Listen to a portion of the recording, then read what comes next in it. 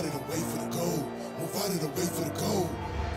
Oh, big knee! The greatest of all time. Here we go, the epic trilogy fight. For the first time ever, Demetrious Johnson defends the one flyweight world championship in the USA. Greatest of all time. I'm an animal.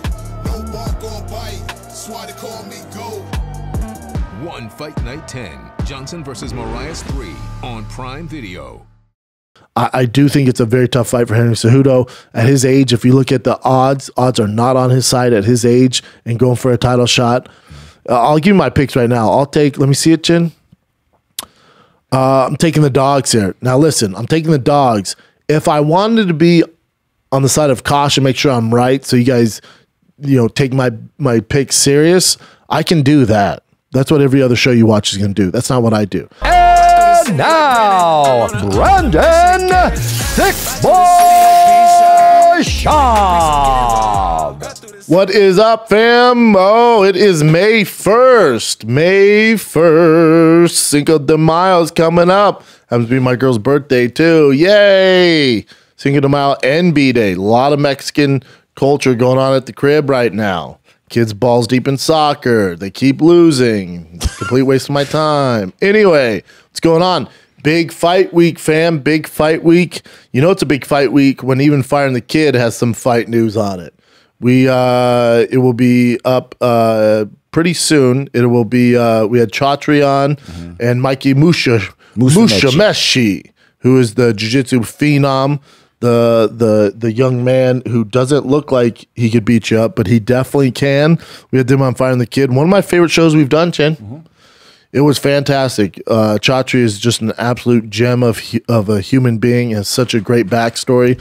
So that will be on Fighter and the Kid with Brian Callen, and you have uh, Chatri and Mikey on there, and uh, you got one championship this Friday in my hometown, Denver, Colorado. It's actually in Broomfield to be uh, Specific. to be specific. There, it's at the First Bank Center, um, which I fought in many of times when I was a young pup coming up. So it's gonna be great to come back and check out one championship. I've heard nothing but great things as far as the production goes. And uh, listen, the UFC card, UFC 288 is is good. It's freaking good, man. And I would pay just to see uh, Muhammad, Gilbert Burns, Aljo, Henry Cejudo, uh, Steamrolla, and Drew Dober. Take my money. The rest of the cards, it's okay. It's it's it's solid. I think we're a little spoiled because the the pay per views have been so stacked. This is a quality card, so I see some you know some complaining going on online there, but I think you guys are off on this. Things being a great card, especially when you get a steamroller uh, versus Drew Dober for free as the main event on the prelims on ESPN. So overall, it's a good card. Um, but I would I don't think this is out of pocket here. I would argue that one championships card in their first time breaking ground in the United States in uh, Denver, Colorado, is actual from top to bottom is a better card. Better card overall. Uh, your headliner, um, this is what's getting most of the attention, is Demetrious Johnson, the pound for pound goat for a lot of people, uh, in his rubber match, right? Rubber match Yep. fight against uh, Adriano Moraes. And so they're one and one. And uh, Chart- would argue that they're the two best flyweights on the planet, bar none. It's a fair argument. Um, you know, so this is a great fight uh, for numerous of reasons. It's also you- when you look at their fight, it's not like the first fight somebody dominated, the second fight somebody dominated, you know, and then you're just doing a trilogy for the heck of it. No, no, no. This is a, a, a great fight. It's it's a tough fight for both gentlemen. You know, both have uh, you know their advantages and disadvantages, and it is a straight scrap. So I'm excited for that one, obviously, and also just to add more hype to it, Demetrious Johnson said this might be his last one. So hopefully it's not. I, I don't know if it will be. I don't know if I'm feeling that vibe from him, but we'll see. Um, we'll probably talk to him this week. But for DJ, for it to be his last fight is insane. So you've seen one of the greats maybe walk away. Um, and it just happens to be the first time one championship breaks ground in the United States. You have Rodtang. If you don't know Rodtang, he's a fly flyweight uh, Muay Thai guy, probably the best in the world. If you don't know who he is, look him up. He will knock your freaking socks off. This guy's so talented, so fun to watch. Him and uh, DJ actually fought in a kind of a super fight thing where it was a Mixed a, rules. a mix. It was a collab where it was Muay Thai and MMA. So first round was Muay Thai. Obviously, DJ got dealt with in Muay Thai. Second round was MMA. Then DJ got his neck and choked him literally to sleep. I don't think Rodtang know how to tap. He was just like, "What's happening here?" and then went to sleep. So that was fun. Uh, and then you also have uh, Mikey Musumeci fighting Osama. Um, and Mikey is the most talented grappler on the planet. He's also the instructor for a guy named Mark Zuckerberg. Ever heard of him? He talks about all that in Fighter and the Kid. Um, but yeah, he's the world champion. He only competes really now in one championship. He because even on Fighter and the Kid, I go, how's the contract work? Because there's so many jiu-jitsu competitions. You have the worlds and all that stuff happening. Can you go outside? He's like, there's no need to. I can compete every month, and I'm making you know real good money. So it's changing the jiu-jitsu game, man. But Mikey's a great kid. Mikey's a pizza connoisseur. He's a pizza expert. So the team here was like, "Oh, Mikey eats one steak and he eats pizza. Let's go get him pizza." Yeah. So up the street from here, you have an Erewhon, which is if, if I don't is Erewhon outside of uh, L.A. Are there Erewhons? I don't know. I've never seen them. For those of you that don't know, everyone knows what Whole Foods is. It's like a Whole Foods on steroids. You, it's a nightmare. Their food's delicious. Their hot, bar second to none. The problem is, if you just get like four chicken tenders, you can't get out of there without spending forty dollars. Like if you just get chicken tenders, it's forty dollars. Everything's forty dollars minimum. It's a nightmare. But uh, so we, you know, we thought, yeah, Mike, you got the world champion. He's one state. Let's go get him pizza from that fancy place. So we ordered two large, one pepperoni, one cheese pizza. We're pretty hyped about it. Some of my favorite pizza. Now, is it Jelena takeaway? No. Is it Justa? No. Is it Prince Street? No. Is it Bodegas? No. But it's good for Calabasas. It was good. We enjoyed We it. We enjoyed it. Yeah. We get done with the show. I'm like, Mikey, there's your pizza, my man. We open up. He goes, Oh, oh. He's looking at it. I'll admit, wasn't piping hot. Looked a little stale. And he went, That's not high level. And I went, What? He goes, That's not high, le- high, high level. You could tell he was like stressed. He's like, That's not high level pizza. I go, Oh, yeah, yeah. I mean, it's good for around here. He goes, Yeah. I go, Hold on, dude. You don't have to eat this. He goes, Oh, thank God. I went, oh, you thought we were gonna force you to eat this? No, man, you choke everybody unconscious here if you wanted to. You don't you don't have to do anything you don't want to do, my man. You don't have to do anything. But he uh yeah, that's a pizza. I had a slice of pepperoni myself. It was Uh, delicious. it's good it pizza. The crust is good, but Mikey was not feeling it, man. Brian John said, "Oh shit, fucking Erewhon pizza." But it's it was delicious. I mean, He said, "Brett, Brett, uh, we- uh, "That's Mikey. There, so much fun. Thank you for having us. See you next week. I'll find us good pizza in Colorado to eat. You'll find us pizza in Colorado. I'll find us pizza in Colorado. That's my hometown. Uh, yeah. You know, what? I did promise him I'd wear a shirt to the fights, so I could go order a shirt. ASAP. Mechie shirt. Yeesh. Unless they sell it at the venue, I don't know how that works. Such a good dude, though. Yeah, he's such a sweetheart. And he's such a sweetheart, Yeah. such a badass too, man. Yep. really good. guy. and Chatri, I can rant and rave about Dude, Chatri cool. for days, for days, dude. He's he's a he's an outlier amongst all the you know the the faces of the people that own all these fight organizations or just pro sports in general. You know the commissioners of all these leagues, the owners of the UFC, owner of uh, PFL, Bellator, eh, all these owners. Ain't no one stacks up with Chatri. When you look at uh, degree from Harvard, what he came from, none of them. insane, yeah. An actual mixed martial artist, mm-hmm. like trains every day, has a background in mixed martial arts. Isn't doing this to be famous. Isn't doing this to make money. Could have sold a long time ago. Doesn't do that stuff. He's doing it for the game. His passion, yeah, that's what he said. Pa- straight passion. He, he's my favorite, my absolute favorite. And this is what frustrates me. You know, we shot with Chatri and Mikey on Friday, Oh, and at the time we are talking about Francis Ngannou. And with Francis, my take on Francis right now, I'm sure it's gonna be current events, so I'll jump into it right now. My, and then we'll get into UFC 288. My mm-hmm. my take on Francis is this: the longer that it goes on, that he's not that he doesn't have a fight coming up, the worse it is for him as far as leverage. People forget this game evolves so fast. There's other headliners, there's other big names out there. The boxing game, he he's the you know he's fun, but he's you know he's the side piece. He's not wifey. He's the side piece in all of this. So the more this goes on, and we don't hear his name in the big fights in boxing, we haven't heard for a while now. Deontay Wilder teased it, but then now he's ranked number one. So I, I don't know what's going on there. Probably fighting a big boxing name. But the longest goes on for Francis, the worst it is if you're a Francis fan. It's not good. So when Chatri, when he came in, me, me and him were talking about it. He goes, "Yeah, I'm supposed to meet with uh, Francis in LA. He's in LA. We've been trying to meet for a while now. Finally, we're making it happen. You know, we have, we have an offer." And he's like, "Money's not the issue. We can pay him more than anybody." UFC says they offer him the highest contract ever, uh, heavyweights ever in UFC. We'll destroy that. We're offering more money than he can imagine. So money's not the issue. It's these other things outside of that that makes it um, tough for us.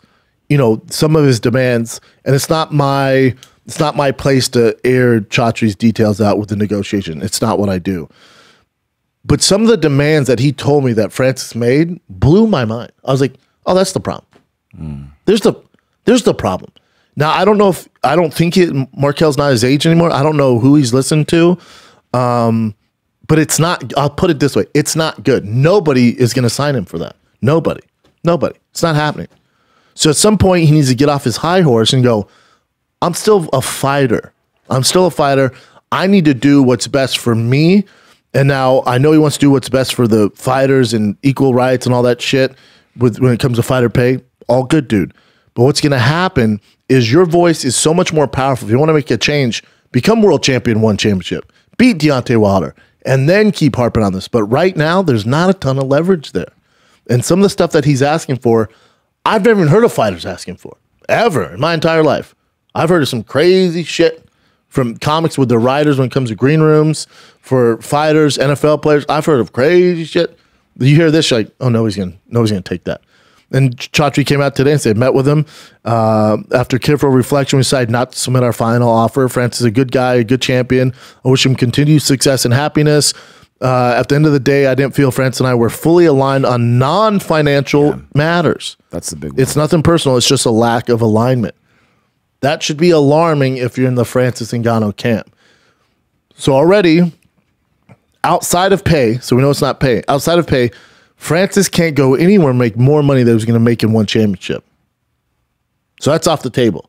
Let's take a little break from chatting all things fighting because UFC 288 is here this Saturday, and we have one heck of a main event: Aljamain Sterling versus Henry Cejudo. The belt is on the line. Who will secure the bantamweight title? Place your bets on DraftKings Sportsbook, the official sports betting partner of the UFC. New customers can make a $5 bet and score $150 in bonus bets instantly. Plus, everyone can take an MMA action to the next level with the DraftKings same game parlays. Combine multiple bets for a shot at even bigger payout.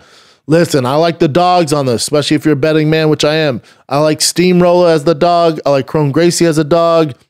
I like uh, Muhammad as the dog and Aljo, Aljo, Jermaine Sterling as the dog as well. Bet a parlay on those dogs, you're making bank, bro. Download the DraftKings Sportsbook app right now. Use code SCHAUB Bet $5 on any UFC 288 and get $150 in bonus bets instantly. This is that's this Saturday on DraftKings Sportsbook with the code SCHAUB Show, S C H A U B Show. Gambling problem? Call Win 100 Gambler in Massachusetts. Call 800 327 5050 or visit gamblinghelplinema.org in New York. Call 877 HOPE NY or text HOPE NY 467 369. In Kansas, call 1 800 522 4700. On behalf of Boot Hill Casino and Resort, Kansas, 21 older in most eligible states, plus, uh, but age varies by jurisdiction. Eligibility restrictions apply. See show notes for details. See DraftKings.com slash sportsbook for details and state-specific responsible gambling resources. DraftKings, promo code SCHAUBSHOW, UFC 288. Let's go. UFC now could be a negotiate, negotiation tactic from Dana White goes, we'll never sign him back. So let's assume Dana's true to his word. UFC's off the table. So you have one championship in the UFC, the two biggest by far in all of the world. Nobody bigger. What's left? Bellator probably can't afford them. Uh, we, we- PFL okay. Bare knuckle can't afford them. They already said uh, we can't meet the demand. So you've already pissed off the UFC, which is the biggest player in the game in North America. You've already scorched the earth as far as negotiations go with one championship. Now what? Now you have to pray to God that the boxing route works out. And boy, if you think MMA is a tough business, there is not a more corrupt business in this fucking professional sports world than boxing. and that's what you're putting all your basket eggs in your basket. It- It's insane. It, it's it's such a shame. I don't know who's helping him negotiate. I don't know if he has an agent. I don't know if this is a Lamar Jackson thing where you don't want to pay an agent a percentage. That is not the way to do it. It's not the way to do it. Because one championship, and this is where it made so much sense. One championship goes, we believe in mixed martial arts. We believe in martial arts in general. So Francis will have an opportunity to A, fight for a world championship in mixed martial arts, and B, we're open to him fighting boxing. When if he, he boxed first, that was his caveat with UFC. Well, I want to box first and then fight in UFC. And UFC went absolutely not. You're gonna fight Jon, then we'll figure out the boxing. And Francis said, nope, I want to box first. One championship said, cool, we'll let you do that. We'll be part of that. We'll be part of the marking of that. We'll do all that for you. Now, what's he gonna do? It's not good, man. It's not good. And I don't know who needs to get in. Nobody needs you. Mixed martial arts across the board, boxing across the board will be just fine. Nobody's bigger than the game. Nobody. Nobody. The closest person we've ever had that was bigger than the game is Conor McGregor. He has some a little more leverage than Francis, right? So for Francis, like I don't know who you're listening to, man, but this is not going well. This has been a fucking disaster. The one I thought this was the perfect situation. It's so frustrating, man. So frustrating. And that one championship fight, that heavyweight fight against that Russian, not a walk in the park. But they you're allowed to do that and box. Where are you gonna go? You start your own league? You know what I'm saying? So what the Yeah. fuck you gonna do, man? It's so frustrating. That would be the dude, Anatoly. And Tolly's a problem. He's a fucking problem. He's undersized at 223. Should probably be a light heavyweight in most areas, but I think the perfect weight for a heavyweight's about 235, 240. You look at Cain in his prime, you look at Stipe in his prime, JDS in his prime. So I remember looking at uh, the articles we brought up before, but so Bellator said they were 50 50. That's how hard the negotiations were. And then uh, PFL said, like, we're heading in a positive direction, but we're not sure what's going. So he, ha- he must have some crazy demands. I mean, it seems like he has some crazy demands. I know for a fact he does. yeah, yeah. No, I know. From, that's every single from the big promotion. mouth. That's every the promotion. And they would love to have him. Then Yeah. think about it. They're like, oh, we're good. Think about one Chatri. Think about Chatri. He's offering the most. Offers him. He was willing to meet with him in Dubai. He was willing to fly to fucking Morocco. He's fly to Africa just to figure this deal out. Finally, they meet in L.A. and he goes, "The money you're asking for, here you go. The boxing, here you go. the other demands. The other demands is what they're so outrageous that Chatri goes, "We're good. We're just gonna carry on. We're good." It's it. God, you fucked up. It, that would have been a perfect relationship. I'm so frustrated because I'm a Francis fan. and I remember Marquel, like, he's a friend of the show, obviously, friend of Love yours. Marquel. he was he had his back with the whole UFC stuff. He actually had a fight with or online fight with Dana White, but then suddenly he's gone from the picture now too. Like Think about saying, what think about what Marquel did just for his career. Like Yeah. think about shit Marquel got. Think about that text that got leaked about the racism that he was dealing Oh, with too with UFC brass Dana. Think about all that stuff, right? And Marquel just got trashed. His name got dragged through the mud, but he knew he was doing the right thing. And then they're finally at the end of the tunnel. France goes, "Thanks for getting through the tunnel. See ya." Think how frustrated is for Marquel? Because this your, your payoff was going to be this. If he had the right guy on his team, they'd go, "Whoa, Francis, Francis, we know you want to change the game, all that stuff. Let's handle our job first, and then do that, and then worry about that stuff." You have a much bigger platform, much more leverage once you're world champion over here. Once you have whatever it is, fifty million in the bank from fighting Deontay Wilder Fury, then let's talk about this. But right now, you got a lot of work to do, dude. We got a lot of work. You're you're focused on the wrong shit, man, and you're not young. He's not that young, you know. It's so frustrating. I can't stand this.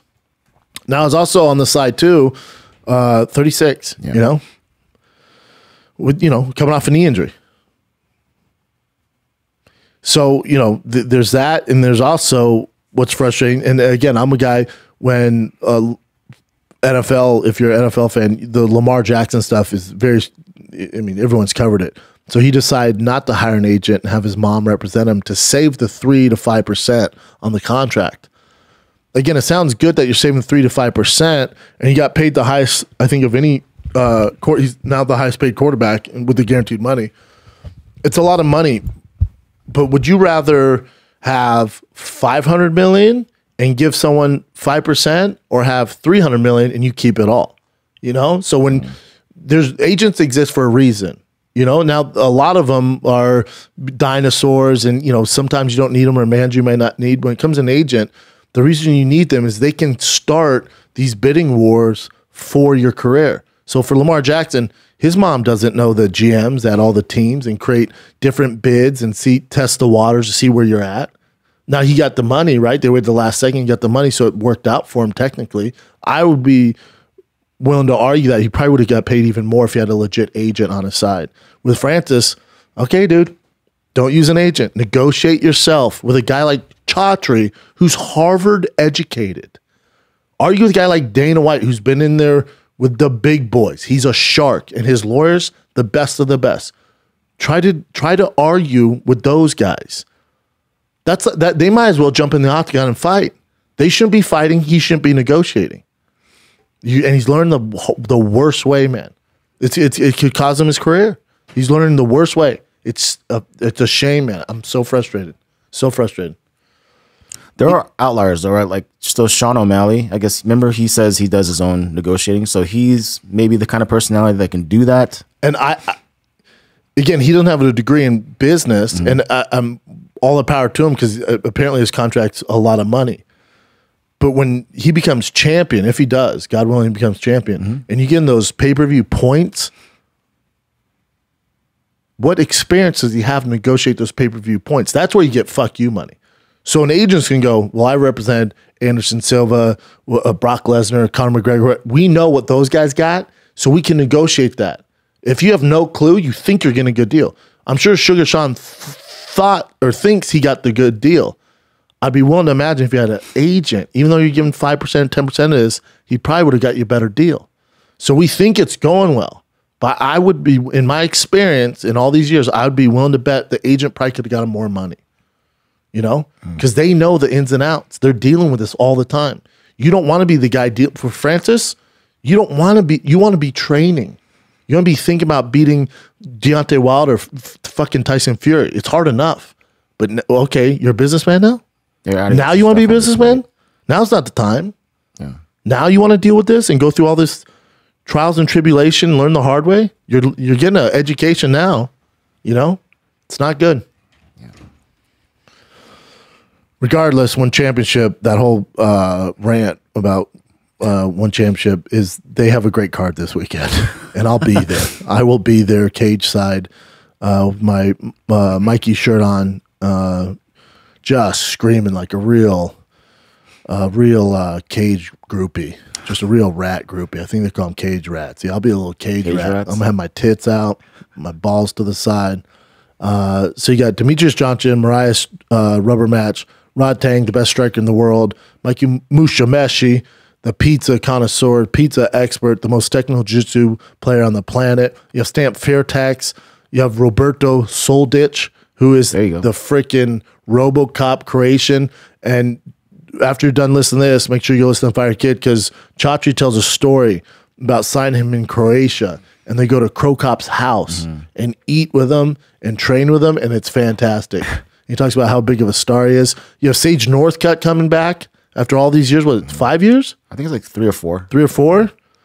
Um, and then one of, also one of my favorite fighters uh, in the world. You have uh, RDR, um, just the the savage, the savage, and that's a that's grappling. All right, against the one of the Ruotolo brothers, Ty. yes, They're badass. super badass. So you have that going on. You got UFC 288. Let's jump into UFC 288.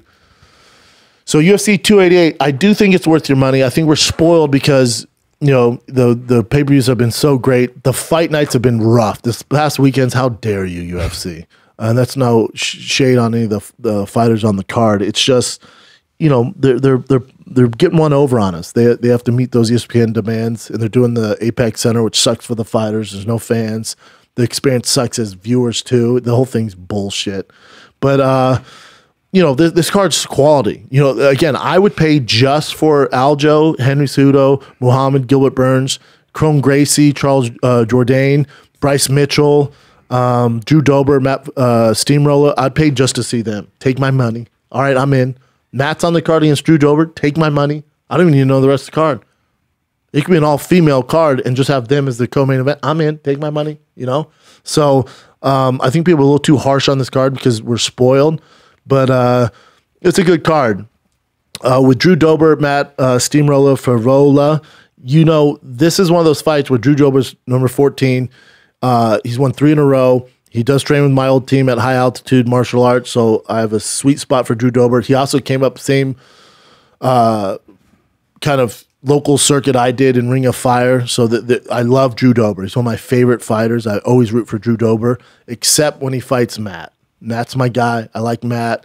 We have Matt on the show uh, today, and Matt is just uh, you can't help but love the guy. He's a Ray Longo, Matt Serra uh, protege. He trains with Aljo. He's just a quality fucking human being, and he's an exciting fighter, man. He just has to fight smart against Drew Dober. You can't do the Bobby Green shit and hands down and play that phone booth, you know, technique, and you're gonna get knocked out. Drew Dober is a fucking bazooka. So um, I'm I'm taking Matt on this. If he fights smart, I'm taking my boy Matt. And then I told him if he wins, we get him on a fight companion food truck. If you lose, we'll see, right? Just kidding. win. Love you, Matt. Um, and then Kron Gracie, never mad when he fights. This is this fight could be in 1993. You have a straight jiu-jitsu guy versus straight striker. It's uh, and now Charles is coming off two losses, so you know I'm sure his morale and uh, I'd like to see his mindset come in this fight. He's coming off two losses, you know. Um, he better watch his p's and q's. You know, Kron's one of the best I've ever seen as far as grappling goes. I grappled with him for a long time. Uh, he's he's one of my favorite human beings on earth. He's a straight savage. His family is responsible for mixed martial arts in North America and across the world. Uh, his last fight was in 2019 against Cub Swanson. That was too much too soon. That was a bad, bad matchup for him. He took some time off. I'm not mad at him for that. It was still fight of the night. He still gave Cub Swanson all he could handle. I didn't. It was too much too soon, man. Cub Swanson? What are we doing, dude? He, he he fought one time in the UFC, and they're like, "Here's Cub Swanson." Like, Jesus Christ! They do that. It was, remember Korean Superboy was killing it, and they gave him Cub Swanson. Yeah, dude, it's fucked up. It's like Jesus Christ, help him out here. Kron's one of my favorites, man. He's so yeah, awesome. Kron kicking the card off, taking Kron via submission. Nothing new there. I'm taking Matt via TKO. Kron uh, submission. This next fight, Bryce Flat, Flat Earther Mitchell uh, versus uh, Mo- Movsar. His Movsar El, El Evloev. he's a beast, but he's a decision beast, right? So when it comes to they're kind of, it's a rough matchup for Bryce Mitchell. You can tell the UFC's not flat earthers. Um, now he wasn't originally supposed to fight him, so it's not like they're throwing him to the wolves. But as far as stylistically, it's a rough matchup for Bryce. I'm rooting for Bryce. Very tough night in the office for him. Yeah. I would assume he's an underdog. Is he? Let's look. Oh, he's a favorite. Damn. Oh, no, no, no, no. My bad. I saw Bryce here, Yeah, so, you yeah. highlight Bryce. I'm like, damn, Bryce So is minus a 265. favorite. Uh, yeah, Bryce is plus 220. Very tough fight for him. Very, very tough fight. Kron's an underdog. Uh, Matt's a dog. Oh, your boy can make some money on this. Muhammad's a dog. Oh, Nikes. And then Cejudo, minus 105. Boy, there is a parlay that gets my dick wet. That is a nice little So run Sterling is minus 105 and Cejudo's minus 115. Yeah, that means they don't know what the hell's going on. They don't know So what to expect from close, yeah. Cejudo. So it's basically even money, but it's e- e- either way, um, Ce- Cejudo's a slight favorite in this now. Yeah. Drew Dober's a big favorite. Minus 200 is kind of big in MMA. Ah, man, I like the dogs here. You know, I like me some dogs. Go back to the lineup. Uh, Bryce, tough night in the office. I hope Bryce gets it done. I, I love Bryce. Here's my thing, too Bryce Mitchell, um, uh, Colby Covington.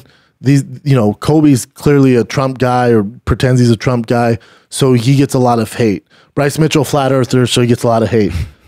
I can separate Bryce being a flat earther and whatever crazy conspiracies he's on. It's fun to me. That's his thing.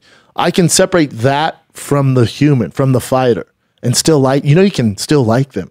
You know, if your favorite fighter, for whatever reason, is a, a DeSantis guy or a Biden guy, you know, you can still root for him just because he's either left or right or in the middle, you know, or he's a flat earther he's a conspiracy guy, you know, you can still root for the guy. Just because he doesn't align with you politically or with conspiracies, you can still like the guy. It's okay. doesn't make him a bad person. Just makes him wrong, right? so uh, I'm rooting for Bryce. I like Bryce. Bryce is a great guy. He's a fun interview. Good dude too, man. He's just flat earther. Today, super flat earther. He started talking shit to. Elon Musk. Like, you ain't never been to Mars. Like, holy shit, talking shit to Elon Musk. No, you this your thing? Say Joe Rogan, I want to debate you. I'm like, oh my god, you have a better chance winning this fight than beating Joe Rogan in debate, man. That's a bad idea. But I love Bryce. Yeah, he's absolutely love Bryce. Uh, yeah, just on Drudge. Uh, she's a is she a dog in this against Jan? I think the last fight was be. tough, man.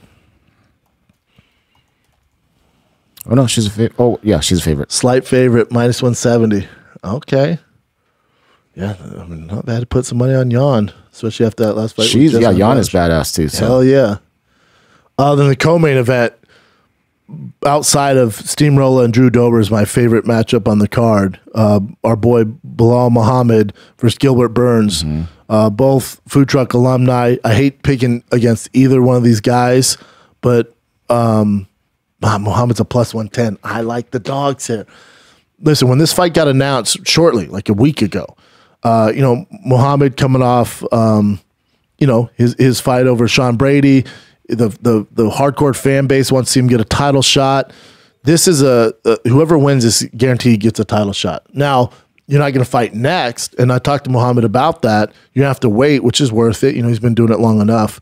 But this is going to be a, a title contender fight. So whoever wins, I would almost guarantee gets a title shot next after Colby and Leon fight you know, we we've seen Gilbert take his his his run at the the title shot didn't work out for him against even though it was Kamaru Usman. Um, he had the the loss against Hamzat, which actually I think did even if even though he lost that fight, still did more for his career than than almost anything because Hamzat's this complete savage nightmare. He went toe to toe with him, fight of the night, ridiculous fight. You know, so um, you know against Neil Magny, uh, Gilbert did his thing against Jorge. I I'm not as high on Gilbert after the Jorge fight as most people are. I didn't think that was a great performance. Um, Jorge did a good job executing his his jiu-jitsu defense there. You know, uh, Gilbert did say he was greasing for whatever reason. What you don't want to have happen is Belal sees that and goes, "Oh, he's not that dangerous on the ground," because you're gonna find out the hard way and probably lose that fight. Gilbert is an outlier on the ground when it comes to that. I think uh, Muhammad needs to do the same game plan he did against Sean Brady: avoid the ground, turn into a kickboxing match. Um, I would say Belal's more versed, more versatile on the feet, but when it comes to power, Gilbert definitely has the advantage when it comes to power. Avoid the big shot. I would assume this fight goes to decision. Avoid the big shot. It's five rounds. Avoid the big shot. Be methodical. Just get rounds in the bank. And I think uh, Muhammad wins via decision. I think it's the next title shot. For Aljamain, uh, Henry Cejudo, this one's tough. There's a reason the odds are like this, right? Minus uh, 105 to minus 115. So the, the odd makers don't know what to expect when it comes to Henry Cejudo. He's been out three years. So you can base off the Dominick Cruz fight, but three years, especially at that weight class, is a long freaking time. Now, Henry Cejudo is not one of those guys that's just been fishing and hanging out at the beach and doing a shit. He's he's he's active. He, you know, he's he helped Jon Jones out. He's trained with Mighty Mouse. Uh, he trains with Sugar Sean. He trains with all these guys. He helps them out. Game plans. He's been cornering guys. He trains with them. So he's been super active. So you- you're dealing with a different type of human being here. He's also an outlier when it comes to his mindset. There's a reason he was a double UFC champion. Um, you know, and he- he was also Olympic gold champion. So his mindset is what separates him from everybody else on this UFC roster but I I do not like when guys take three years off. I don't care what your mindset is. And I also don't like you're finding a guy in his prime in Aljo, where ring rust is going to be a factor here. Um, you just hope that if you are a Henry Cejudo fan, that he doesn't get finished before he can make those changes to kind of win some rounds there, because Aljo is a finisher. So um, I, I do think it's a very tough fight for Henry Cejudo at his age. If you look at the odds, odds are not on his side at his age and going for a title shot. Um, I will. I would probably put my money on Aljo in this. I'll, I'll probably take Aljo. Uh, I'll give you my picks right now. I'll take. Let me see it, Chin. Uh, I'm taking the dogs here. Now listen, I'm taking the dogs. If I wanted to be on the side of caution, make sure I'm right, so you guys, you know, take my my pick serious. I can do that. That's what every other show you watch is going to do. That's not what I do. I, I if you want to make money, I like Steamrolla as an underdog. I like Kron Gracie. Um, I would probably lay off the Bryce Mitchell one just because stylistically, the chance of him get a knock or something like that's not good. Um, I would take Muhammad as a dog, and I'll take Aljo. Those are all dogs. I'm taking all dogs here. So I'm taking Matt, Kron, um, Muhammad, and Aljo. Those are my picks. Great card though. One championship, great card. Taking DJ in that main event. You know I'm taking Mikey. You know I'm taking Soul Ditch. You know what I'm saying? Yeah. You know I'm taking Stamp Fairtex. Yep. But either way, great cards coming up. It's gonna be a fun weekend. I will be out there for one championship with wifey. It's her birthday too. It's Cinco de Mayo. A lot going on. Is her birthday really on Cinco de Mayo? Yeah, dude. That's it's Mexican as it gets. That's so Mexican. so Mexican. And Canelo always fights on Cinco de Mayo, so you gotta watch that bullshit. He's like a minus three thousand favorite. Thanks for that, dude. Minus minus sixteen hundred. That's boxing. Damn. On the undercard, this dude, uh Janibek is minus six thousand. Why fight? Money. Yeah, true. All right, let's take a little break before we jump right back into the fisticuffs. Got a busy weekend. One championship, UFC 288. A lot is going down. But I will be doing a live Calabasas fight campaign with Ryan Garcia, George Janko, another very special guest this Saturday at 7 p.m. Pacific, live on Thiccc Boy YouTube. And you know one thing for sure, I will be all up on my happy hippo because when I'm doing podcasting, I'm doing stand up, I'm just working out, I'm using the best kratom on planet Earth. It's from Happy Hippo, happyhippo.com, promo code THICCC23, thick with three C's. Get you 20% off the best kratom on the planet, bar none. They got it all. They got gummies. They got the instant shots, which I use for every show. I always have it in my case when I'm traveling. I just pop those before I hit the stage, pop those before I walked in the studio because I love Kratom, but I only trust one Kratom company, and that's Happy Hippo. I specifically reached out to them and said, Hey, love the product, would like to get you on the shows. And that's how this came to fruition. Here we are. Happy Hippo, the only Kratom that I trust. Whatever you need, they got powders, they got gummies, they got the instant shots, they got it all. All right, that's happyhippo.com. Promo code is thick. 23 with three C's. You save 20% off. You can use that code as many times as you want. If you want to try Kratom, but you're worried about what's in it, or you're worried about if it's actual Kratom, what kind of, if there are other additives in it, mm-mm. you need Happy Hippo. That's why I trust them. The only company that I trust. HappyHippo.com, promo code THICCC23. Oh boy, for you health nuts out there, guess what? It's that time of year. No, it's not Black Friday, but it is Onnit's freaking semi annual sale and it's happening right now. You get the lowest price of some of Onnit's most popular products. For a limited time only, you can get 25% off. Usually I only give you guys 10% off, but this semi annual sale Onnit's running right now. It's going to be very short. You get 25% off Alpha Brain, 10% off kettlebells, 60% off other doorbuster deals. That's insane. Don't wait too long because the sale ends May 14th. So you have two weeks. That means you only have two weeks to take advantage of these amazing deals that Onnit's providing too. It's not Black Friday. It's Onnit's semi-annual sale right now. So what are you waiting for? Head to onnit.com slash shop. All right. If you head to onnit.com shop right now, you get 25% off Alpha Brain, 10% off kettlebells, 60% off all other fun stuff. All right. Don't miss out on this incredible sale. It's only two weeks through May 14th. on Onnit.com slash shop to join their semi-annual sale right now. We are live with the shirtless wonder, the most powerful redhead in the UFC, hands down. It is the Steamrolla himself, Matt Frevola. What's going on, brother? Yeah, not much, man. Just entering fight week, you know, shirtless, feeling good. Dude, I, I would never wear a shirt if I had that body, man. The only the only person you're competing with in combat sports, as far as the most powerful redhead, is uh, Canelo. I know, right? I've heard that a lot. Really, uh, you're more handsome than he is, and you're bigger. You ever seen Canelo? He's not a big dude. No, I've never seen him, but oh, seen him in person. But uh, no, I'm trying to get my hands like him, so I'll yeah, take you it. could, be, you could beat him in a street fight. They'll tell you that right now, dude. Boxing, you know I love you, but that's a different story. Let's not get carried away here. MMA, you destroy him. there you go. I'll take that. How you how you feeling for fight week, man? How's how's the cut down to 55 for you? Is it has it been a beast this time, or what's going on here? Dude, I'm feeling great, man. I like I crushed a workout this morning, and then I just jumped in the cold plunge. Like I live right uh, on the water in Long Island, so I just jumped in the water for ten minutes. Slight flex. Yeah, man, I got that that salt water healing. I got that cold water. Love it, And- dude. Yeah, man, my, my weight's on point. I'm so hungry right now. I'm hungry physically. I'm hungry mentally. I'm ready to eat this dude's face.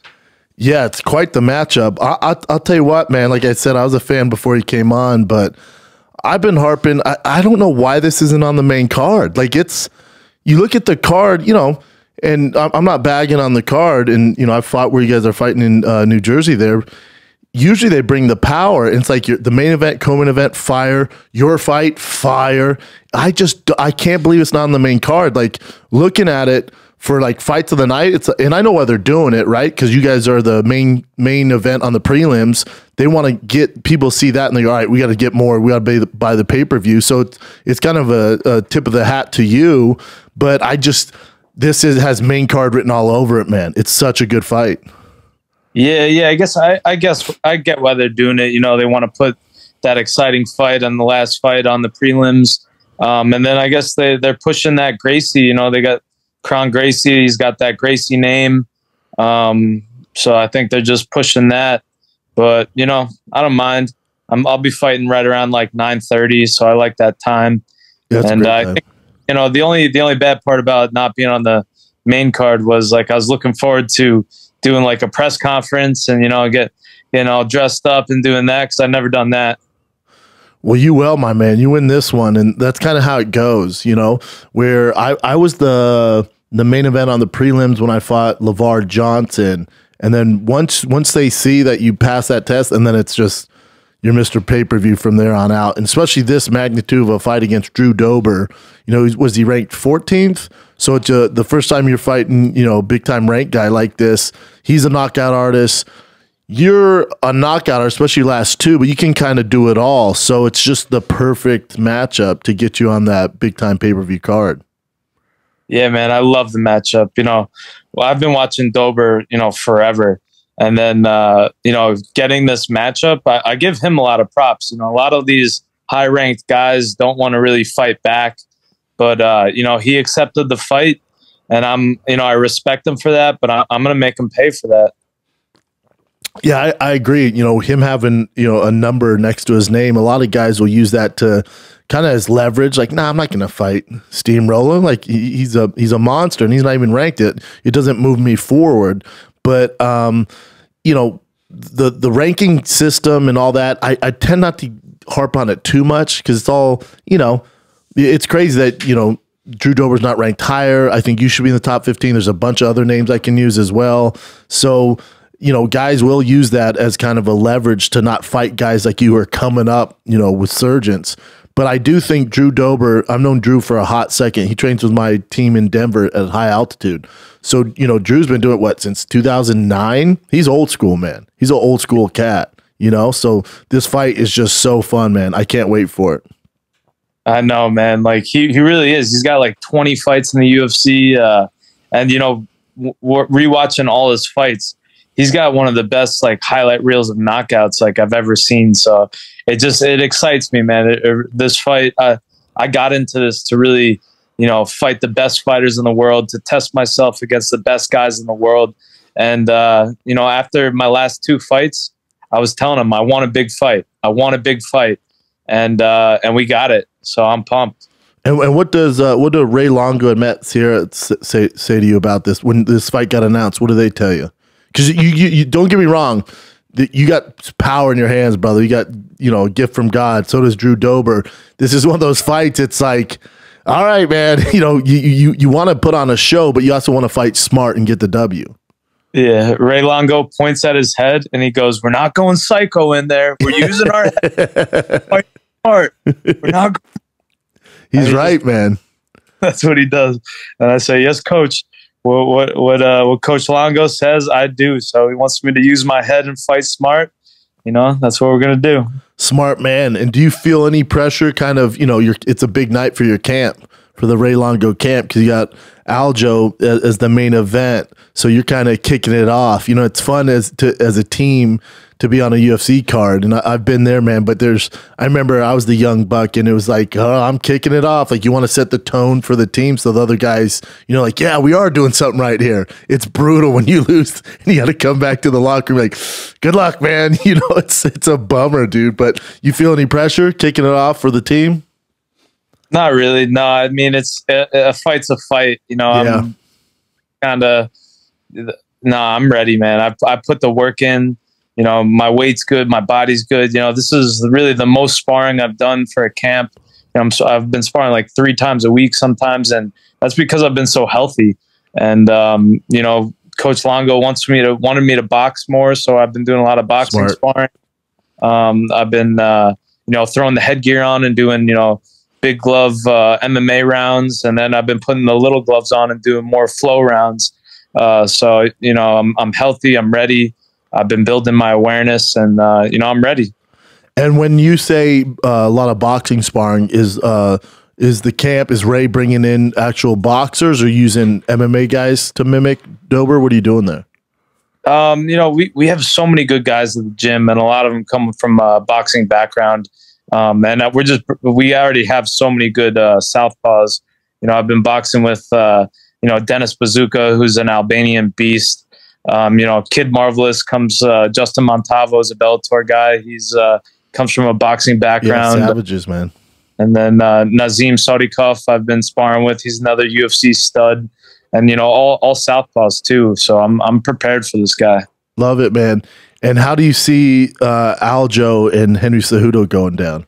I mean, obviously you're gonna be a little biased, but looking at it, try not to be too biased. But I, am I'm Aljo's my guy. You know, I love Aljo, and I do think the layoff three years for Henry Cejudo is going to be a bit of a challenge for him. How do you see it, going down? Because you see Aljo all, all, the time.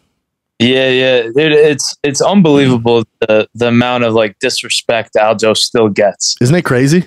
Dude, I, I like don't get it, man. Um, but he's so good.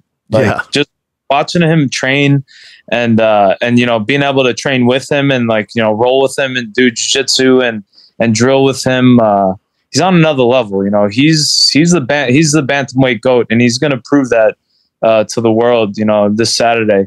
Um but I I think you know his striking is so unorthodox. I think that he keeps the range so well with his kicks and um, you know with his combos, and I think that's going to frustrate him. I, I don't think Cejudo's ever fought anyone as big and strong and, and fast as Aljo.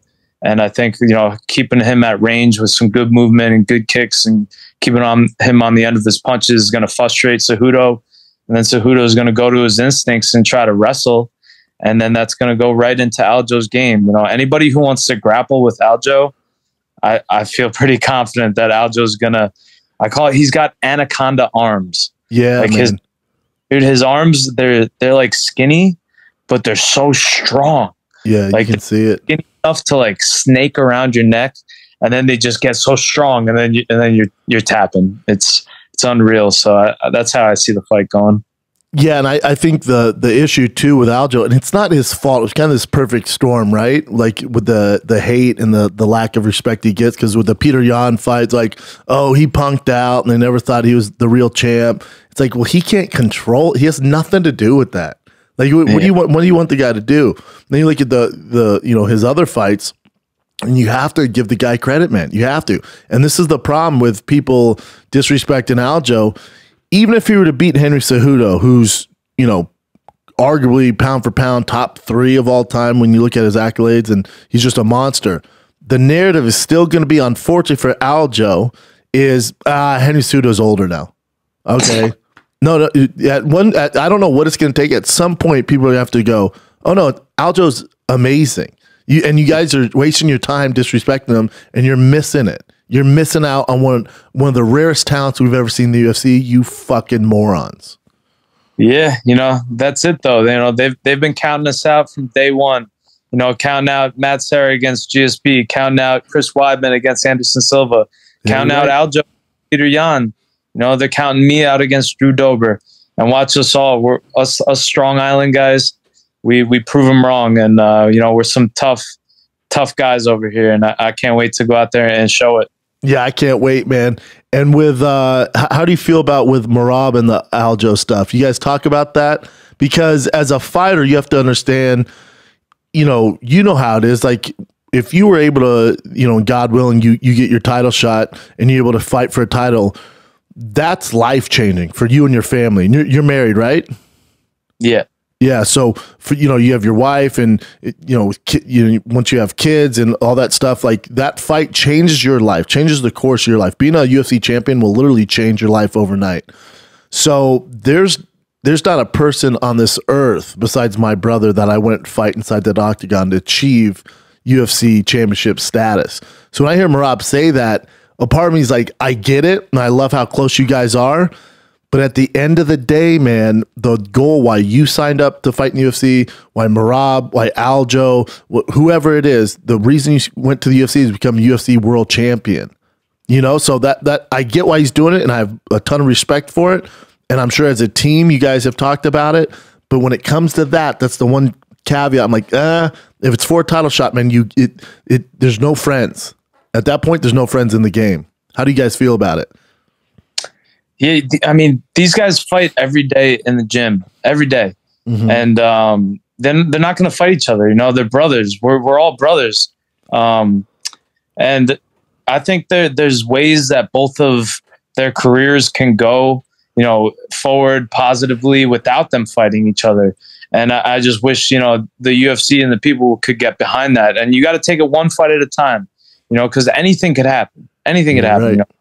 I think you know Aljo's got his fight with Cejudo. You know, Merab should be you know fighting Sandhagen next. I, I don't see why they don't make that fight. Um, and then and then you know after that fight, you reassess and you see where everyone's at. You know, I think Aljo is definitely eventually going to go up a weight class. You know, to finish. Um, I think you know Aljo beats Cejudo, beats O'Malley, and then probably goes up. And then Mar- Merab, you know, he could beat Sandhagen and then uh, and then maybe fight for the vacant title after that. But you know, you really got to take it one fight at a t- fight at a time, and um, you know, both of both of them are on on good uh, good positive uh, uh, you know moving forward. That's And great, it- man. Wish everyone would get behind that. And you know, there's things bigger than fighter, bigger than bigger than fighter, bigger fighting, bigger than money, and uh, you know that's the relationships we build through this and um, you know that's you can't buy that with money. Yeah, I like that perspective. I, I just hope, like you said, I hope everybody else could jump on that kind of perspective of there's bigger things than just fighting and become world champion. Because the UFC, if they want that, Merab turns it down a few times, it can get dicey for him. But unfortunately for him, he's so talented. There's not a lot of things you can do as far as matchup wise to discipline him. There's just not. I don't with his wrestling background, his cardio, and you know his tenacity and speed and quickness. Okay, okay, who you gonna toss to me then and try to you know punish me? Good luck, you know. And he just you guys just keep winning, and that stuff takes care of itself. Yeah, Merab's like a cheat code. It's like it's, it doesn't make sense how he doesn't get tired. He'll just he'll just spar like you know rounds after round, and then somebody will walk in the gym and and want to spar, and he'll yeah I'm ready, and he just keeps going. He's just a freak, huh? Yeah, yeah, machine mentality. That's uh, I mean, for him to shoot 49 takedown attempts against Bro. Petr Yan. In one- Nutsos. I watched that fight, and the next day I was sparring, and I'm like, all right, I'm gonna try to shoot as much as I can during this sparring. Insane. And I shot maybe like five times and was dog shit tired. Yeah, Like, bro. Different level, man. And I'm sure for you, like with your with training with those guys, with Al, Joe, Merab, all these other savages you have at Ray Longo's gym there, uh, your wrestling has to be getting pretty freaking good, man. Yeah, you know, my wrestling, my jujitsu, my striking. Uh, that's why I love mixed martial arts. There's so many, you know, aspects to the fight game, um, and and I love you know focusing on each one of them. But then what I really love is is how you know you blend it all together in the cage, you know, to to beat a specific opponent. Well, don't forget you said that when you fight on Saturday because listen, I love my I love myself a real slobber knocker with Drew Dober, man. Let's use all the tools there if we can, bro. You know what Yeah. I'm saying? Said, we're using our head. We're not going psycho in there. We're using our yeah, don't do it, brother. Don't do it. I feel like, and correct me if I'm wrong, I feel like the winner of this fight, there's a lot to it because that'd be four in a row for Drew Dober, three for you, and you beat a ranked opponent. You get put in the top 15. But also, both of you, Drew Dober and yourself, have been calling out Paddy Pimblett for quite some time. I feel like the winner of this probably fights Paddy Pimblett. Yeah, definitely. I mean, once I once I uh, handle Dober, um, I'm gonna I'm gonna beat up Paddy. It's only a matter of time. And now you're a WWE fan. I would assume you get on that mic and give us one hell of a promo with your WWE knowledge and call out Paddy, and that's probably going to be the talk of UFC 288. Yeah, yeah, that, that sounds about right. You know, I just gotta, you know, I like a lot of people ask me, they're like, "Oh, do you like prepare what you're gonna say after the fight?" No, And uh, I don't like yeah, like I'm so dialed in. Like I, I'm focused on the fight, focused on Dober, um, and then you know after that I, I'll you know I'll, I'll be I'll be on my A game and uh, and then we we move on to uh, to serving Paddy Pimblett some humble pie. Yeah, that that's the move, man. You don't want to. You definitely don't want to overlook Drew Dober. I would actually, uh, and I would assume most people would agree. I, I would, Drew Dober is a more dangerous fight for you than Paddy Pimblett. You know? Yeah, yeah, oh definitely. Yes. Yeah, Drew Drew, Drew Drew's such a savage. Um, and how are, how are things in uh, Strong Island, man? Uh, it's going good. You know, it's- starting to get nice out here. You know, there, there's nothing better than summertime on Long Island. Um, so you know, the, know, the I'd love to come out there, man. Yeah, man, you need to. Uh, so yeah, I'm I'm looking forward to uh, you know getting this big win and then uh, staying in shape all summer. You know, I, I'm feeling good. You know, I'm looking good. I, I don't want to become the cream roller for the summertime. Hell no, you're gonna the tan roller, brother. The tan. Yeah. You know, I I don't know how you do in the sun. Usually redheads don't do great in the sun, but I do good, man. Well, I got to go through a lobster phase. I go through my lobster phase, and then it turns into a nice bronze. Oh, dude, I'm excited for that. Almost too excited. Uh, and how do you how are you feeling? You, you had some recent comments about uh, Chandler and uh, Conor. What's your thoughts on uh, Chandler and Conor? Do, A, do you think the fight's going to happen? B, do you think they can kind of save this Ultimate Fighter kind of free fall it's been on? Man, nobody's paying attention to it. I assume that's the reason why they have Conor on, so people remember that the Ultimate Fighter used to be the biggest show in the world. So, Yeah. how you feeling about it? I'm excited for it. I mean, who doesn't want to watch, uh, you know, Conor McGregor on on his on his proper 12 whiskey? I heard he was just drunk all the whole season and it, it just just getting wasted and uh, you know on all all the testosterone probably possible. Um, So I, I think it's going to be entertaining, an entertaining show, and I'm excited for it. But we'll see what the you know. It's pretty crazy how he was allowed, you know, to to really juice to you know let his his leg heal. yeah. Uh, but you know, I'm I'm not mad at it. Like I, I get it, you know. Now I just don't think like if you just look at the way the UFC works, unless they give him some exemption, which people would freak the hell out about, I just don't see him fighting this year. You know, with the six month of testing, I don't know if, he, if he's even entered the protocol testing time. So it's like if you just look at it the way it usually works, and now it is Conor McGregor, so they can make exceptions, but it's like, hey, does anybody else realize how this sport works? He's probably not fighting this year. Yeah, we'll see. And then you see him like at bare knuckle, just still swigging his whiskey. yeah, yeah, I know, dude. Dude, I, I need to take a page out of his book as far as marketing, man, and just start swigging Tiger Thick, you know? Uh, But uh, he, no. he does well with it. Did you see? I, I think what happened too is he was drinking. and, You know, he doesn't want to do bare knuckle. What are we talking about here? And but he's drinking. Then the just the sheer demand of like the pure pressure of fans be like, get in there, and he gets in Mike Perry's face. I bet he woke up uh, the next morning kind of hungover, like, oh my god, what the hell was I? I bet Dana was like, what the fuck are you doing, dude?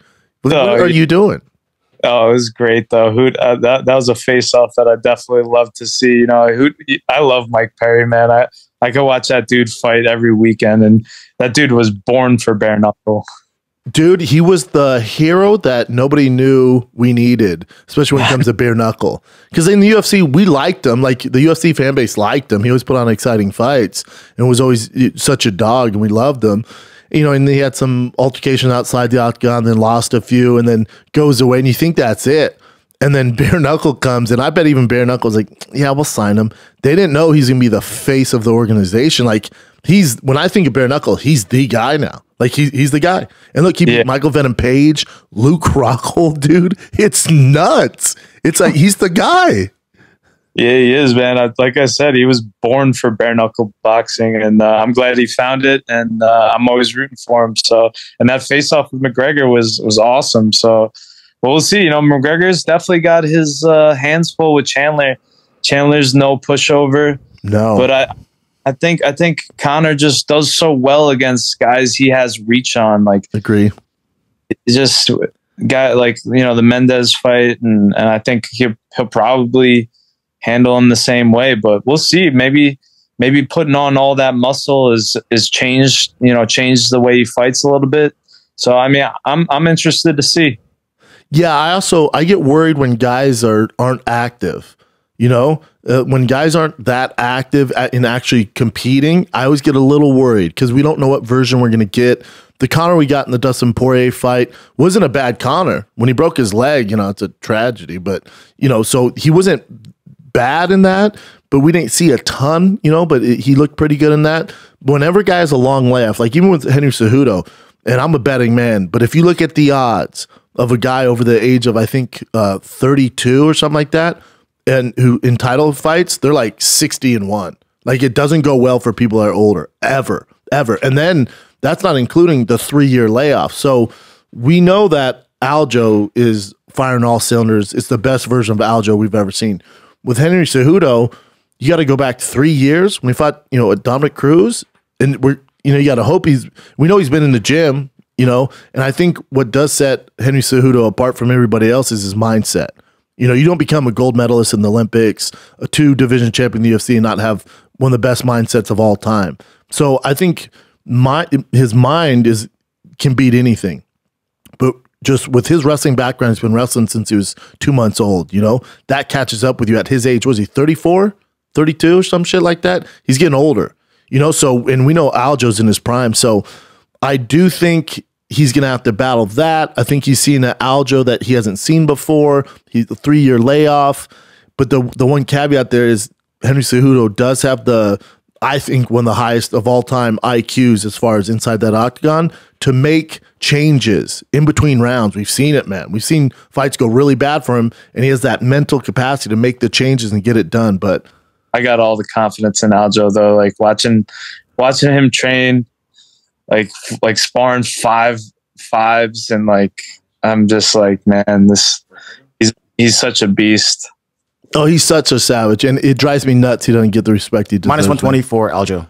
Okay, so Aljo's a slight favorite, minus one twenty five, which is almost even in MMA, but he's a slight favorite, which that that's right because that's the odds makers going. We don't know what Virgil Henry we're going to get, you know. So at least they're, they they got that right. They get that Yeah. right. What else you got going on the rest of the day, my man? But hopefully no no more sparring this week because it seems like Ray Longo's a bit of a old school dude where he makes you guys uh, spar hard still. Yeah, yeah, he's definitely an old school guy. Uh, but no, no more sparring. Sparring's done. Um, and then yesterday uh, was like my last real hard session. I did like a puke drill um, where it's like a fight simulation. You know, I'm hitting pads and then I'm grappling. I'm hitting pads and then I'm grappling. You doing Um, rounds there? You're doing like one minute grappling, one minute wrestling, one minute boxing.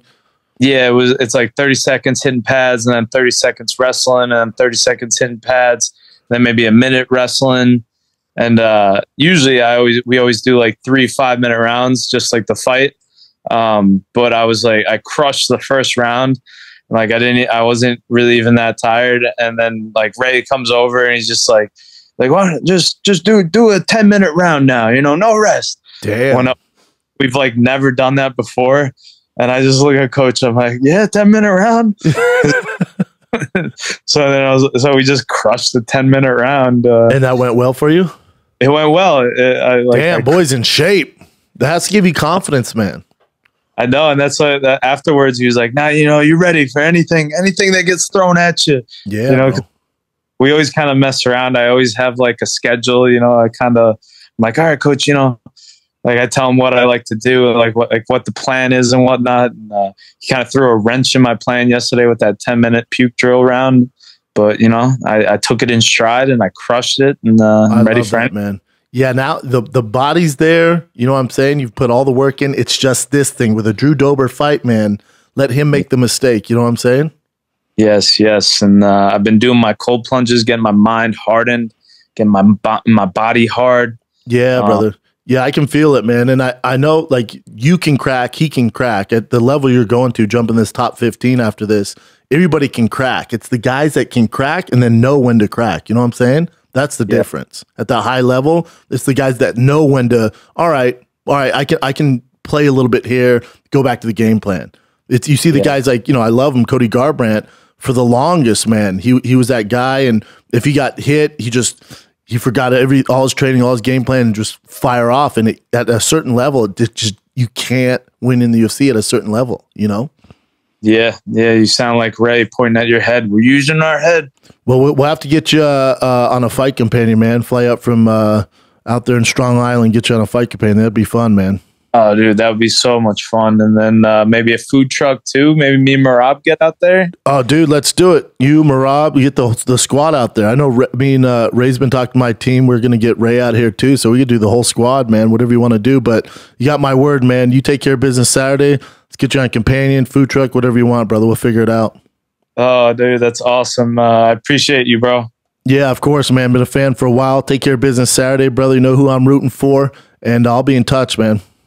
Thank you, man. Nice All right, talking to brother. Good luck. Stay shirtless. Yeah. yeah. All right, brother. Take it easy.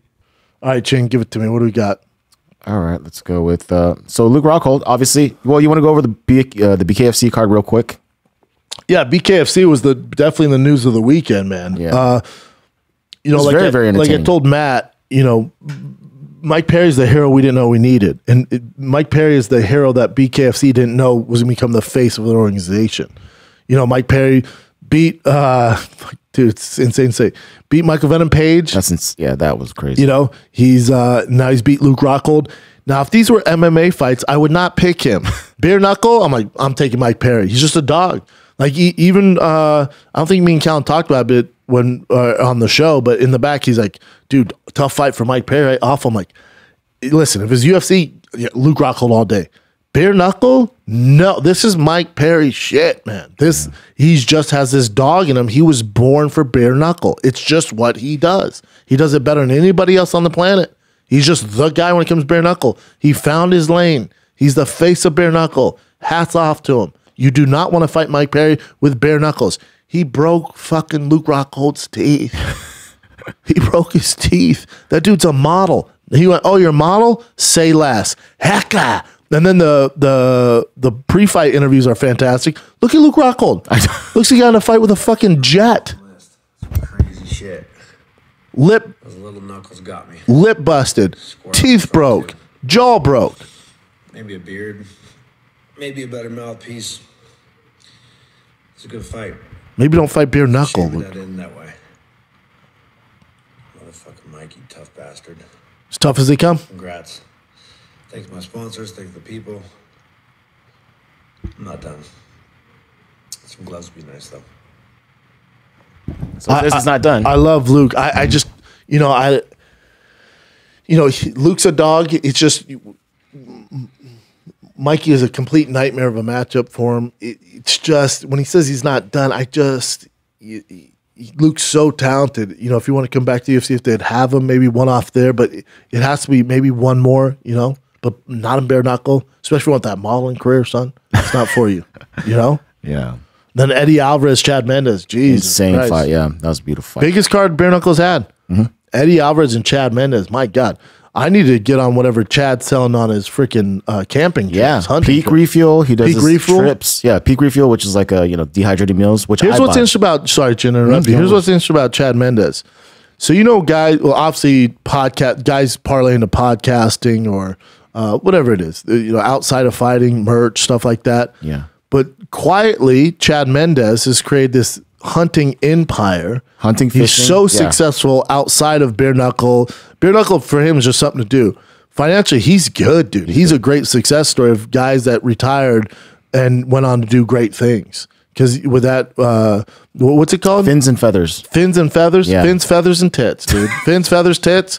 It's a strip club where you hunt and uh, kill fish. No, uh, he, Chad Mendes has he's a great hunter, right? So he has and fisher. So he has this of service we can sign up to hunt or fish with Chad Mendes. Yep. It sells out right Always, away. yep. all the way. It can't be cheap.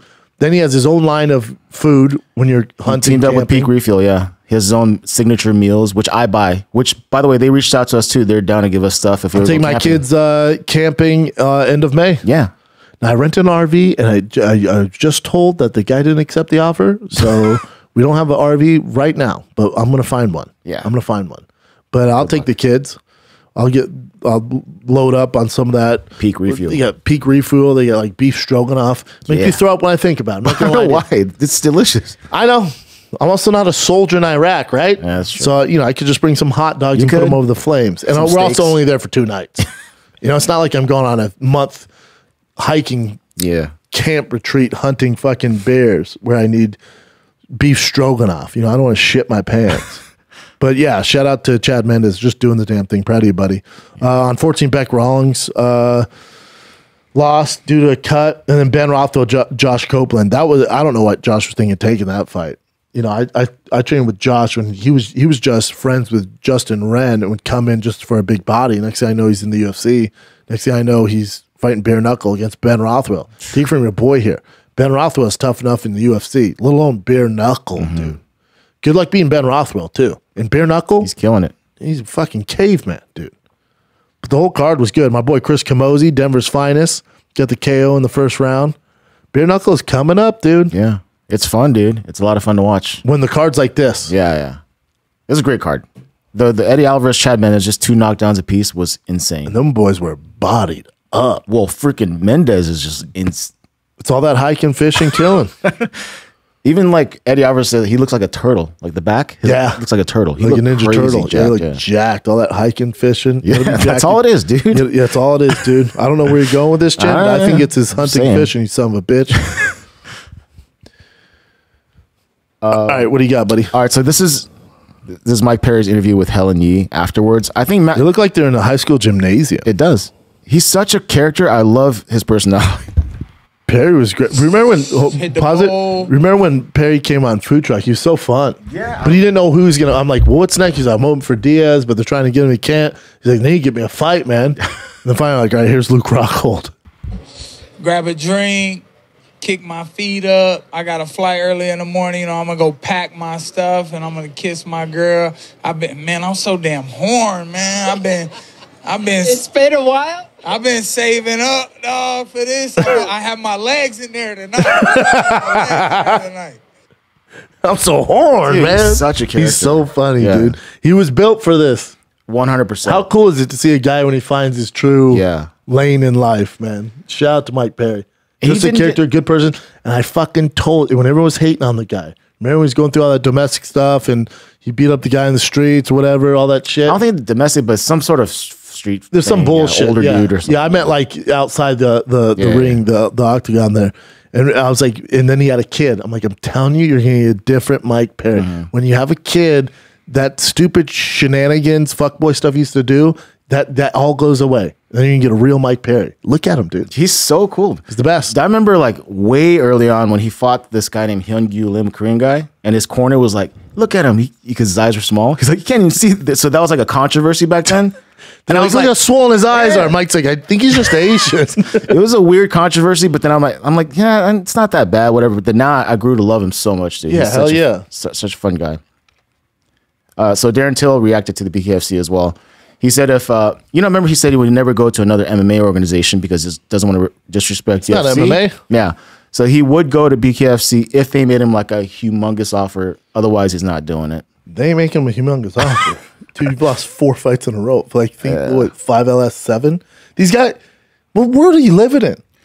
Also, what world are you living in where you think you'd beat Mike Perry and bare knuckle? That would be an interesting fight, though. Yeah. I'll tell you how it's going to go. I mean, Mike is killing it. Killing it. Yeah. All the, and now he has confidence on his side, and he's a world champion. Good fucking luck there until. that ain't what you want, man. We don't need another L for you. Yeah, I'd watch it though. Um, here's some bout announcements. Cody Garbrandt. Well, there was rumors about him possibly fighting Dominick Cruz again, but That's apparently that's off the table. Uh, that's a bummer. That's Yeah. the fight. Yeah, exactly. Dom Cruz the fight. But now he's fighting this guy, Mario Bautista, and I looked at so this is Cody's record. It's not been amazing as of late, but he did win his last fight His against last Trevin yeah. Jones. And then this He is also fought some monsters in that. Of course, tough stretch. the Yeah, top they're not of the doing top. any favors there. so yeah, this guy's killing it. So Yes. yeah. Um, Arnold Allen said that he would like to fight Brian Ortega. It's a great fight. Yeah, really good fight. Uh, we're both in the same position. We're looking for a redemption. He's had his title shot. I'm still trying to earn mine. That's the guy to put me right back in there and win there. 100% We'll be back in the title talk. Great fight. And I just thought this was funny because this is Jorge Masvidal's take on Nate Diaz. He put what it what it looked like to me is this dude ran up on Nate and you've got to respect every threat. It looked like it was self defense. I just want to say, can't run up on people. You can't violate people's personal space and feel it's cool to get away with. Yeah, facts. But I'm saying, like, you know how he did it to Colby? Oh, it's yeah. like as he's saying it, like the comments are just going crazy. You're like, Like, well, that's you exactly violated what you did. Colby's. Yeah, yeah. yeah. That was pretty funny. Someone said right message, wrong messenger. Yeah, the comments are funny. Uh, so this, I'm sure you heard about this already. Israel Adesanya, stylebender, he actually suffered a pretty. It looked insane, dude. Think about the MCL injury. mindset on this motherfucker. Just before his fight, Just dude. and you're fighting a guy who's you've never beat, Mm-hmm. and he's knocked you out fucking twice. Think about the mindset I on know. Izzy, best of all time, dude. Yes, hundred percent. I remember telling you too. I was like, you, you had me pick if it was going to be Alex or Izzy, and I'm like, fuck. Everything's telling me Alex should win, but I want Izzy to win. But if Izzy wins, he's going to change people's like their their outlook on life. You I did, Alex, but so I'm did like- Brian. but I said I was the only win- one that rode with Izzy. If he does win, he's going to change. And like I have mental blocks. I'm sure people have mental blocks, and you, you think you never get over it. Yeah. He inspired me. I'm sure like millions of people out there. To he's, he's the biggest star in the mental UFC, hands down. Yeah, face of without the UFC. doubt. So this is the sp- sparring. This when he tears it. Yeah. Now there's no sound. What the hell? That's all right. All right, so you'll see here. Right. Oh, fuck, that's bad. And he was screaming in pain. And it's not dirty from that guy. He just did the outside. just tried to take him down, trip. Yeah. Yeah, and then I guess Izzy pretended not to feel that much pain after he screamed because he didn't want people to freak out, his team to freak out about the whole, you know the injury. Does he have But- to have uh, surgery? I don't think he no. I don't know. I mean, MCL you can get away with tearing. I tore mine. I didn't Yeah, have surgery. yeah. yeah. Yeah, I tore my meniscus when I, going into the house on the Ultimate Fighter. Meniscus and MCL. I What never, the f- I never did anything. How'd you It, tear it It just went away. Training or what? Training, yeah. It just went away. It might. I mean, I don't walk with. I still feel a little pain every day. I'm good. I mean, I have to jump and stuff, it might fuck me up. That might be why I tear my hamstrings. All they're so tight because it's like overcompensating. Yeah, yeah, I remember your Good thing I don't crazy. do anything athletic anymore. So who gives a shit? Unless you race Chappelle again. Oh, I want no part of that. Yeah. okay, so I guess Colby Covington just recently received his black belt in jiu-jitsu. And it's from what's this guy's name? Hold on. Well, anyways, he received his black belt from jiu-jitsu, so people are saying how dangerous he's going to be now because he, you know, he's an awesome wrestler and now he's a black belt in jiu-jitsu. Well, he's probably been a black belt though. By the time you get your black belt, you've probably been working at black belt level for years. That's the way it works. Mm. So I don't think much changes here. All right. Good for him though. this kind of sucks. So Deiveson Figueiredo, he can't get medical clearance for UFC Damn, 290. why? His eye. Remember, guys, his eye got jacked up by Yeah. Brandon Moreno. Fuck, man. So apparently, he's still not good enough to to fight 290. That's a bummer. And let's go.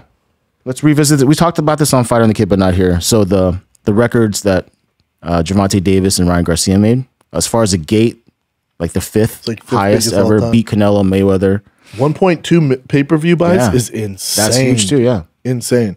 And again, hats off to both guys. Neither one can pull this on their own. It's that combination that got this done. And by with them making sure this fight happened. Like hats off to them. Ryan Garcia's on fight uh, Cowboys fight companion this Saturday Awesome. for UFC 288. You got Ryan Garcia. That bad Mama Jamma's on fight companion. So it's gonna be a fun one. I give Ryan more credit too on this whole thing because Yeah. he's the one that he had to like compromise all these different things. Yeah, just to So, get it done. Yep. All right, this is a uh, exhibition match that Floyd Mayweather is going to do. the card's going to be called Last Names Matter, June 11th, and he's Is that a fighting John on Gotti. the All lives matter. I don't know, but John Gotti the third, which he's a a descendant, you know, of John Gotti, but uh, he doesn't. I don't know if he does boxing, but he's like five and one in MMA. Damn, Floyd just doing whatever. He's like, his dad was John Gotti. You're like, what? I know. So you're gonna fight him? Okay. Yep, I mean, good for. John Gotti getting the fight though. for sure. Big dude too. It's kill or be killed. Uh, not really. Is it? That's weird. All right. Uh let's go to Oh, this is just silly. So there's six power slap athletes that got suspended because Mother. all kinds of stuff like narcotics and steroids, just a bunch of stuff. Bro. Six athletes. But why are they even testing Uh, well, a, why do you test them? They're in rash guards. First of all, if they're in rash guards, there should be no testing. Second of all, I want my slap fighting athletes on meth. that makes it more exciting. What are we doing here? They're trying to ruin the sport. How dare you? It's just funny that they test them. I don't know. I don't know why they test them. What are you doing? They should test them and celebrate it. Like the champion one, he was on meth, had oxycodone in his system, zero hydration, you know, and in a rash guard with tits. You know, it's like, all right. That's I got this. That's what we th- expect. This, what are you doing here? Oh, this was nuts. You His see this? face, dude. Yeah, yeah. So I guess he's the only he's the second person ever who was untrained in this. This is Tito Ortiz doing this like a simulator for it's called NASTAR, which is basically, you know, for, you know, space, whatever crap. I'll just play this video for you real quick. It- his face that someone paused it. I sent it to my group chat with Rogan and Callen and Eddie. I was like, look at Tito's face. It's nuts. Yeah. After seeing this, I wouldn't do that just because I don't want to be a meme with Pictures, my right? face like that. Yeah. One time, I'm like, oh, I'm good. Oh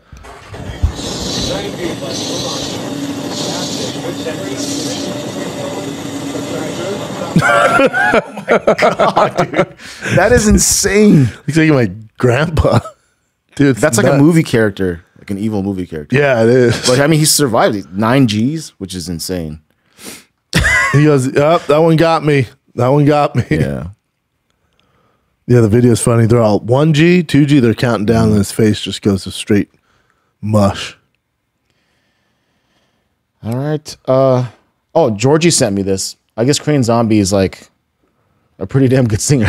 I'll just play a tiny bit because I don't know how much we could show. It's like all cranes can sing. I don't know what the hell it is.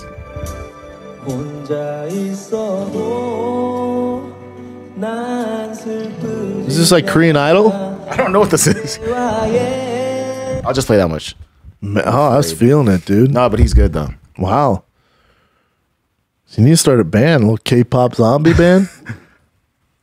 Dude, Zombie? That'd be a great name of an actual K-pop band. Hell yeah, the zombies. And this is uh, from bjpen.com. It's Fabricio Ver- Werdum. Jacked. Yeah, he's looking really cut now. Hold up. Take the music off. What's he just so jacked for? What's he gonna do? I don't know. He's not part of PFL anymore. Yeah, But he's looking like lean and jacked. Jack City. All right, dude. I think that's it. All right, buddy. That's it, kids. Enjoy the fights this weekend. You have one championship going down on May 5th. That's Friday, live on Amazon Prime. That ridiculous fight card. DJ Moraes, uh, the third fight. Rodtang, Mikey Musumeci, the pizza expert. Stamp Fairtex, Robert Soldic. You got Sage Northcutt, RDR. You got the Croatian Robocop doing the damn thing. That's all going down this Friday on Amazon Prime Video. Make sure you tune into that. Then Saturday, UFC 288. We're doing a live Calabasas fight companion with George Janko. You got uh, Ryan Garcia, myself, and another very special guest. That's live at 7 p.m. Pacific time on Thiccc Boy YouTube. Make sure you tune in because you're going to get a lot of fun, a lot of chaos when you got Matt Steamrolla Frevola versus Drew Dober, Kron Gracie, Bryce Mitchell, Flat Earther, Jessica Andrade, Muhammad Gilbert Burns, Aljo, and Henry Cejudo. It's all going down live 7 p.m. Pacific time on Thiccc Boy YouTube, Calabasas Fight Companion UFC 288. Get you some. All right, kids, as far as touring goes, Uh, I'll be doing spots around LA in May, and then I think it's May 19th. I'll be at the Ice House Schaub and Friends. Those tickets just went on sale today. One show only, Schaub and Friends at the Ice House in Pasadena. Then June 2nd through the 4th, that's a Friday, Saturday, Sunday. I'm at the Comedy Store in La Jolla. And then uh, in June, I'm jumping across the pond. Starts in Belfast, June 15th. Then we're off to Glasgow, June 17th. Manchester, June 18th. London, June 22nd. Cardiff, June 23rd. And then we end in Dublin, my favorite, June 25th. All right, tickets at thickboy.com. And new Tiger Thick merch drops this Friday as well on thickboy.com. If you haven't got Tiger Thick yet, it's available right now. We all new pricing. We finally negotiated the price down, $59.99. Get you some of that sweet award winning thick nectar. All right, kids. But uh, Ice House, May 19th. La Jolla, see you June 2nd through the 4th. Now I'm off to Europe, starting Belfast, June 15th. Love you, kids. Enjoy the fights. If you're in Denver for one championship, come say hi to your boy. All right? Love you guys. Be safe. See ya. Out the way the gold. Move out of the way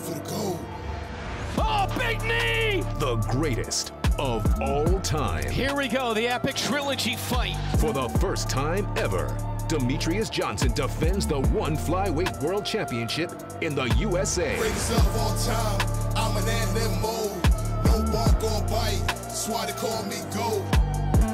One Fight Night 10, Johnson versus Moraes 3 on Prime Video.